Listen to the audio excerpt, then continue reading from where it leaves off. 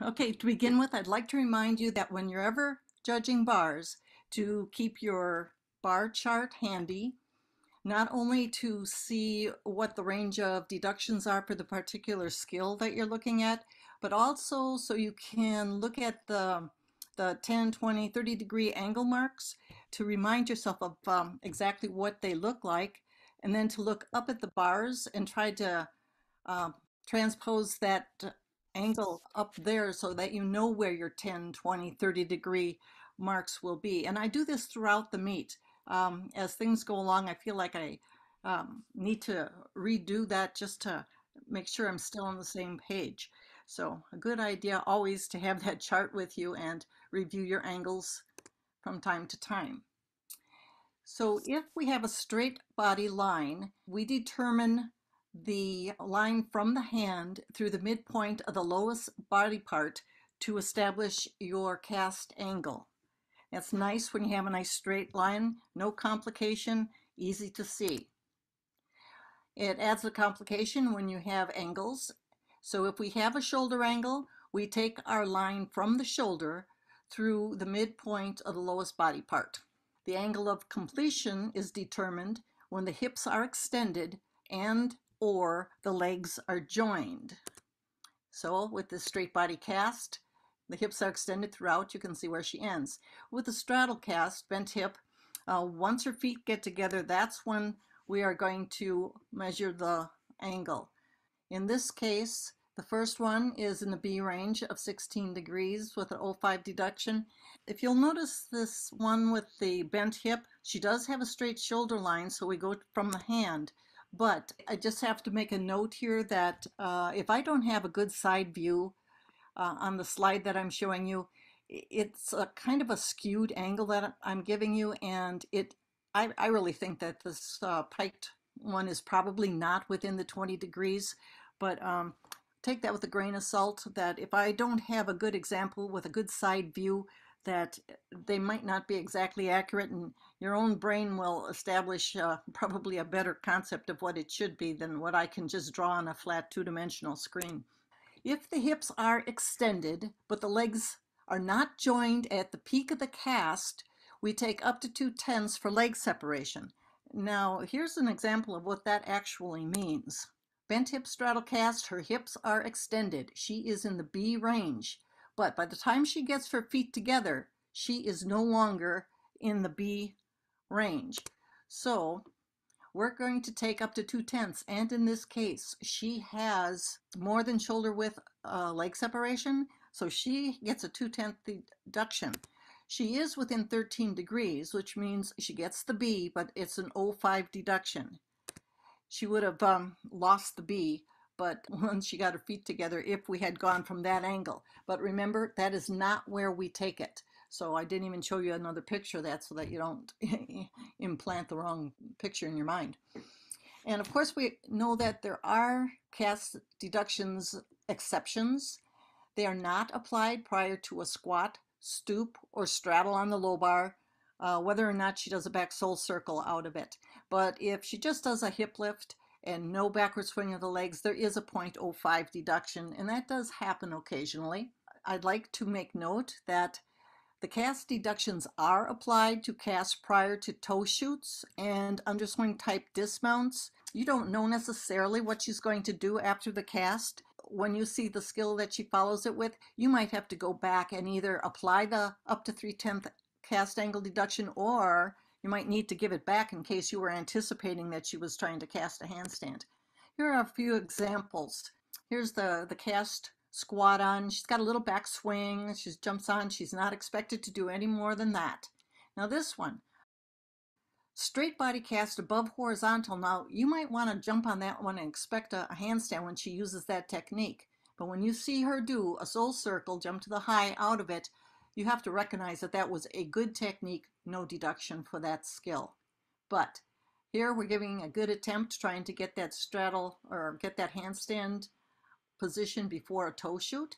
And now on this final one, she is clearly not getting a cast angle out of it. You might have expected her just to do a, a stoop on, but when she does the toe shoot out of it, that's when you need to remember to go back and take that angle deduction. There are difficulties in determining cast angles. For one thing, the angle or vantage point that you are sitting at when you're judging.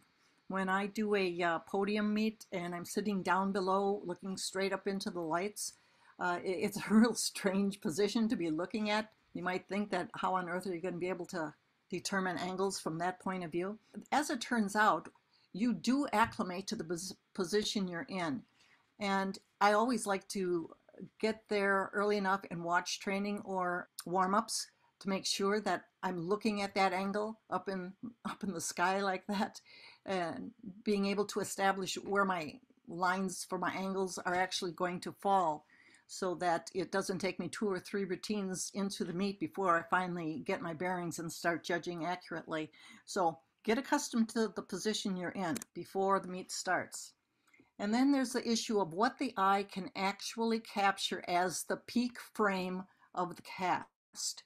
Uh, you see her moving up through a range and then that very top frame that she hits her highest point may not be what you see. You then catch her going back down through the same range that she went up. Your eye is more likely to pick up on an angle in there someplace, somewhere not quite at the peak but you'll have coaches come up to you with their iPhones and trying to say, hey, look at, uh, she actually had a B cast and you didn't give her credit. And of course, we can't go back and review that, but they are able to capture that last frame on their phone and we may not be able to do that.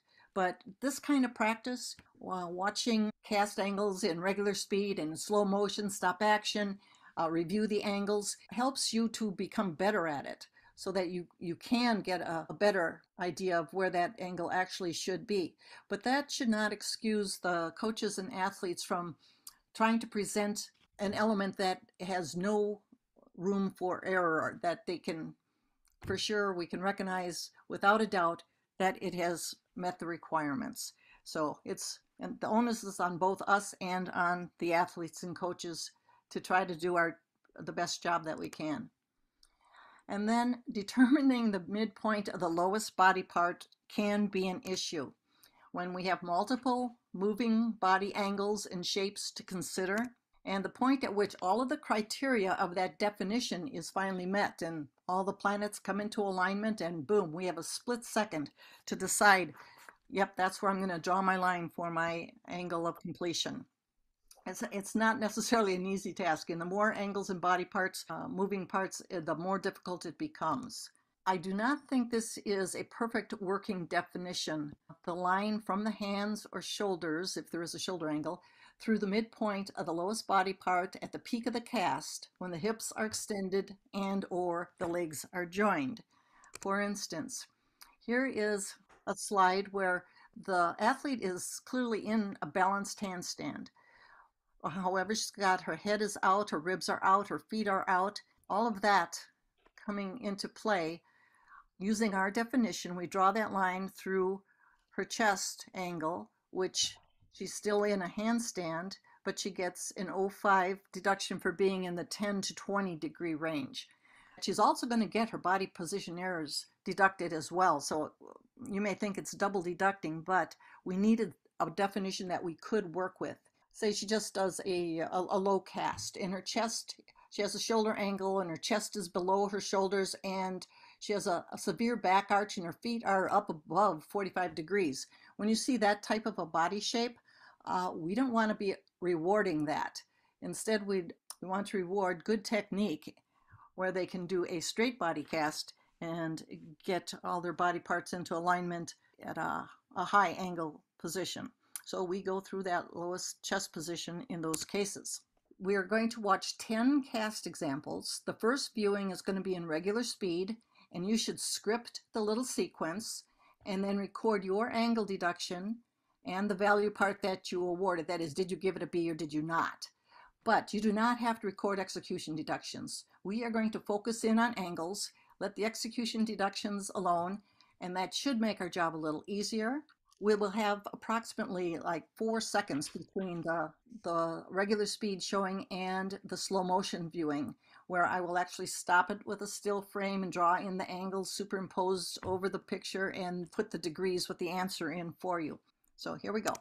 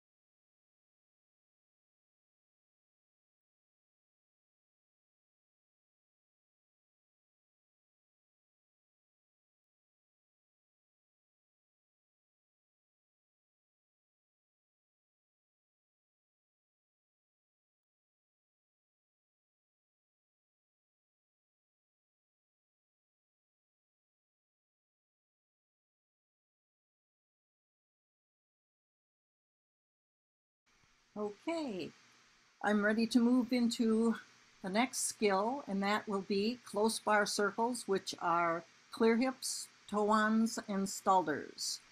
So we have a different chart for that. The important thing here is that we still have the uh, 0 to 10, no deduction, 10 to 20 degrees, we take that 05 deduction and still give it the value part, which is a C. But we have this uh, free range in here, 20 to 45 degrees, where we do not take a deduction for the angle, but we bring it down to a B value part.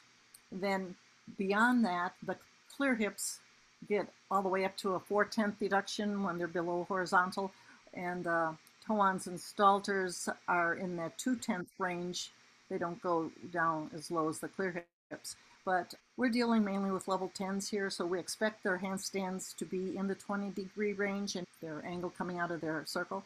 If they're in the 20 to 45 and they're getting a B without an angle deduction, uh, that's what we're looking at. I'm not expecting you to uh, deal with what we see in the level 6 and 7s where they're below horizontal and multiple body position errors.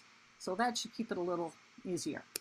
We're going to see eight close bar circles, and you are to script the sequence and record your angle deduction and the value part that you awarded.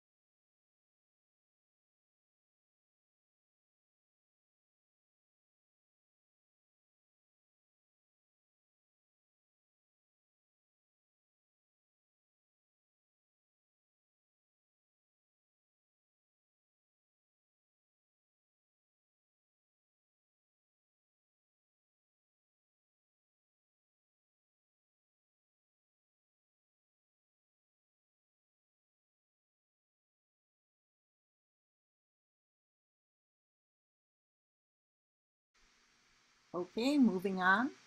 Uh, the next skill we are going to look at, at are turns in handstands. And so if you'll notice that we have now given them the entire 20 degrees range with no deduction. We've taken away the 10 to 20 05 and moved that 05 into the 20 to 30 degree range with the 05 to 1 tenth deduction. This applies both to half and full turns in handstand. We're going to look at half turns right now. Now that we're doing a turn, the angle of completion will be determined when the second hand regrasps the bar. We're going to see eight clips. Three will have two turns.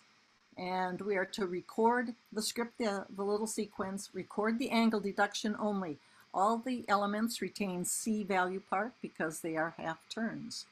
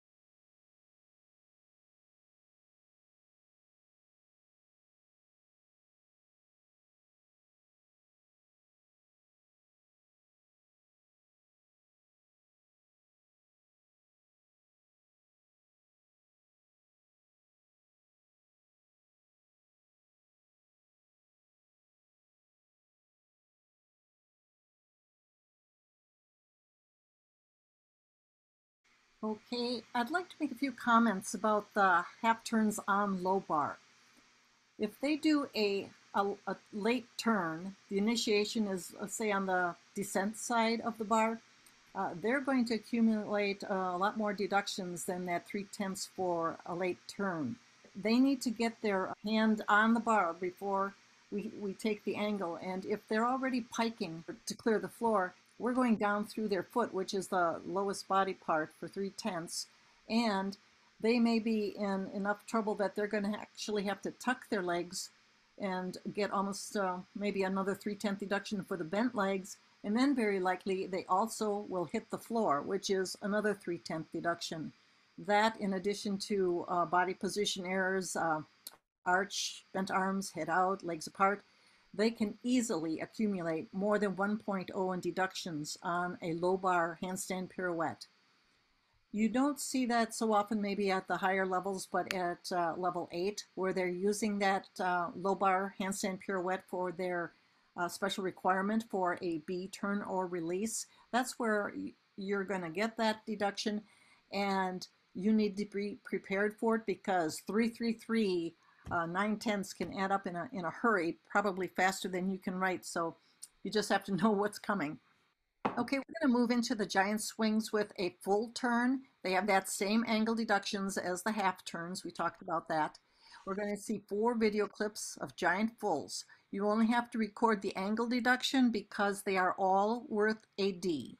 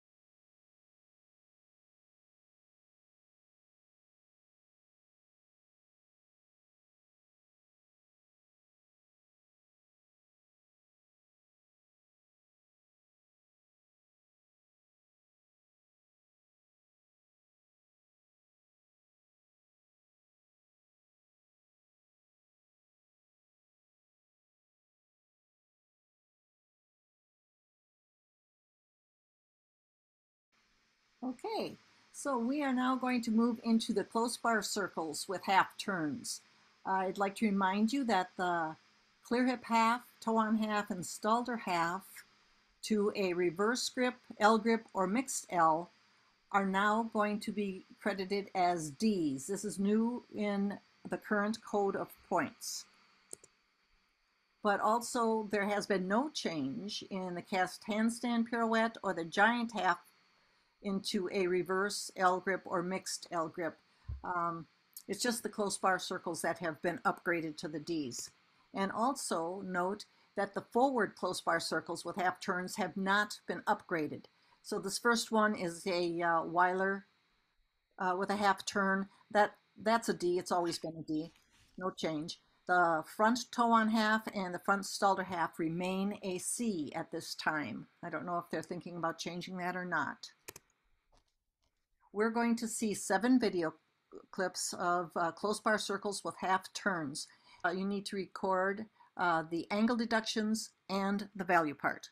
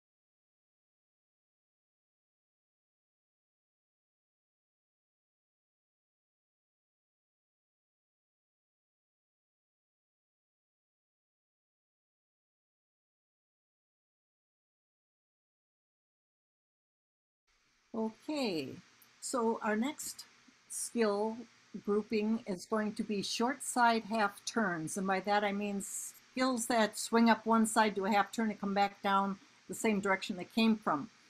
There is an issue with these. All the elements that have these short-sided turns seem to have a different set of rules to follow. There's no consistency from uh, one skill to the other and it can have significant impact on the scores that we give based on the rules that are applied.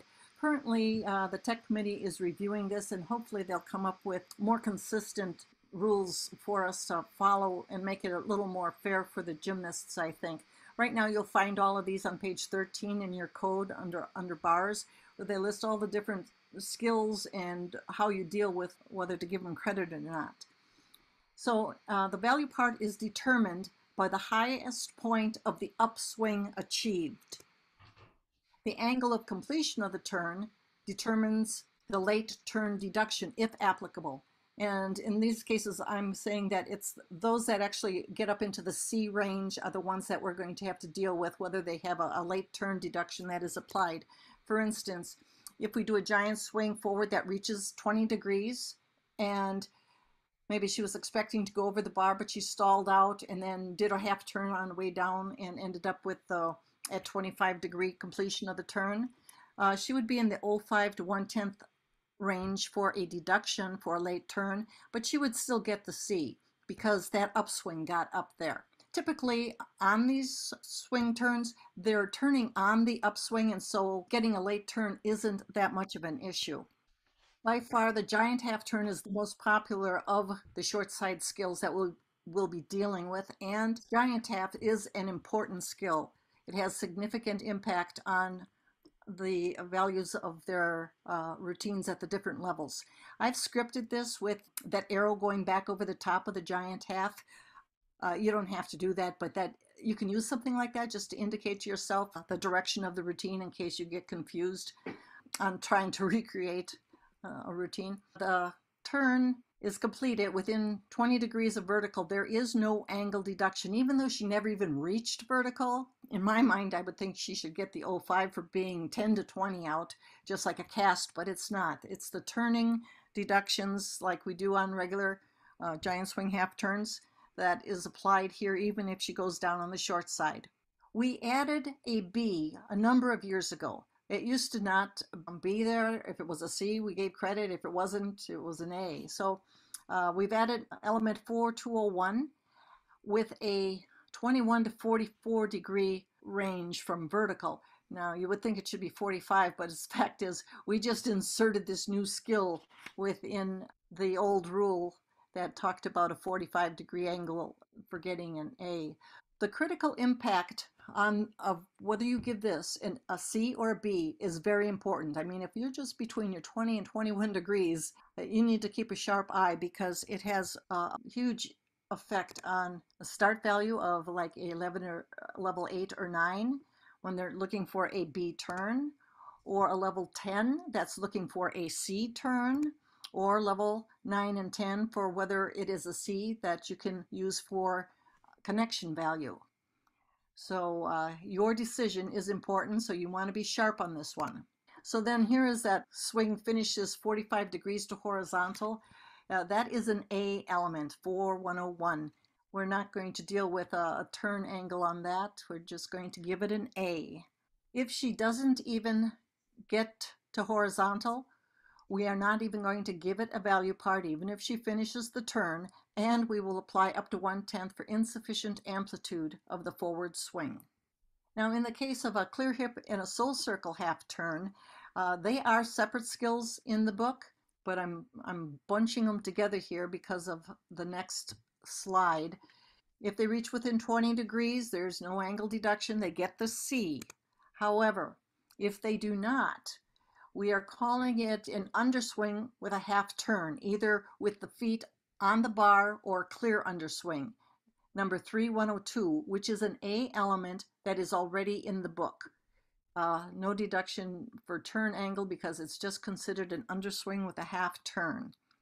If you will note here, we did not list a B for a 21 to 45 degree uh, clear hip half or toe on half. This is where it really is significant. It impacts the level 8 and 9 special requirements of a B turn, or in the case of the level 8s, that group 367B. Um, if they didn't get the C, they're not going to get a B because it's not listed, which means they lose 5 tenths. Special requirement. Now the Stalder half, again, it's a C if it's within the 20 degree range. There is no B or anything else listed in the book. So from 21 degrees and lower, it's not in the code. Uh, the directive they give us is uh, to give it the value of the root skill. But uh, what is the root skill of a stalder that never makes it over the top of the bar? Uh, I assume they mean like a stalder to a clear support that did go over the bar but didn't make the 20 degrees, and so they're going to give it a B. So that's what we're going to do with it here until we get further instruction of what to call this skill.